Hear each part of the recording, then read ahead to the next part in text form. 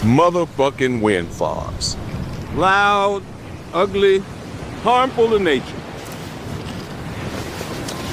Who says that?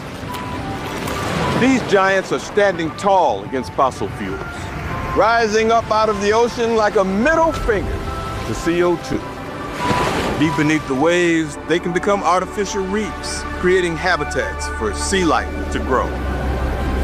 These are wind farm seaweed snacks made with seaweed grown at a Vattenfall wind farm. Mm-hmm. Serious gourmet shit! So, what's it gonna be? Motherfucking wind farms or motherfucking wind farms?